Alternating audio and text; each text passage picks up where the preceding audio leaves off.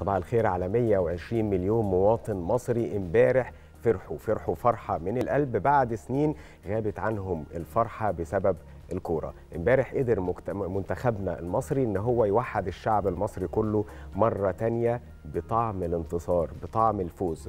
امبارح أثبت المنتخب المصري بروح وعزيمة وإصرار إن هم قد المسؤولية. دايما في المحن وفي الشدائد بتختبر عزائم الرجال. امبارح عزيمة المنتخب كانت واضحة جدا خلال 120 دقيقة يمكن للماتش الثالث على التوالي والمنتخب آه، الوحيد تقريبا في البطولة اللي قدر اللي هو يلعب ثلاث مباريات بالمدة دي بشوط إضافي آه، أول وثاني وضربات آه، ترجيح. امبارح كان يوم حقيقي يوم فيه فرحة. ليه؟ التامنه ممكن. خلاص فاضل على الحلم تكة. فاضل تكة واحدة وإن شاء الله ناخد البطولة للمرة الثامنه إن شاء الله بإذن الله هتحصل. إمبارح كروش كان عنده أداء بصراحة بطولي قدر إن هو يقول للكل إن هو ما كانش بيلعب مباراة عادية. هو كان بيلعب مسألة في غاية ال- يعني الحسابات المعقدة. دايما بلغة آه، الحساب لو هنتكلم بلغة الحساب أو لغة الرياضة دايما بيكون في معطيات. بما إذا امبارح كان في دايما حرب نفسية قبل المباراة بتتلعب علينا هم أصحاب الأرض هم أصحاب عندهم الجمهور هم كمان التحكيم كان في صفهم. لكن المنتخب المصري دايما ما عندوش مستحيل.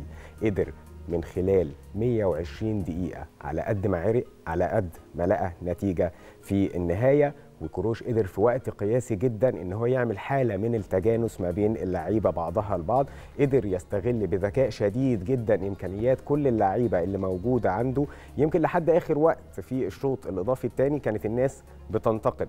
ليه نزل محمد شريف مكان محمد مصطفى وبعدها طلع محمد شريف عشان ينزل زيزو؟ لأن هو كان شايف مصطفى محمد آسف لأن هو كان شايف اللي إحنا ما كناش شايفينه شايف إن خلاص باقي دقايق قليلة جدا وبنسبة كبيرة التعادل هو سيد الموقف ورايحين لضربات ترجيح. فزيزو ليه دور في ضربات الترجيح وهو اللي هيشوط الكورة. فعلشان كده طلع محمد شريف مرة تانية ونزل زيزو يمكن ما قدرش اللي هو ينزل.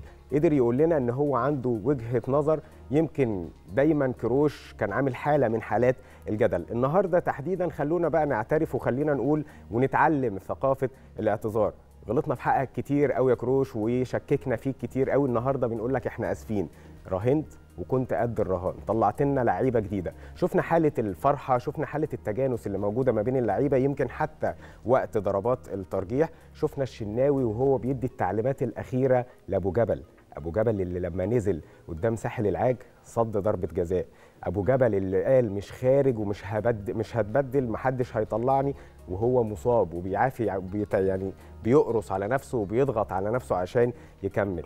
يمكن 4 3 3 اللي دايما كان الكل بينتقدها في كروش هي كانت مفتاح الفوز لينا امبارح رغم كل التغييرات اللي قدر هو يعملها كروش امبارح. خلونا نفرح خلونا نفرح من القلب ونقول ألف مليون مبروك.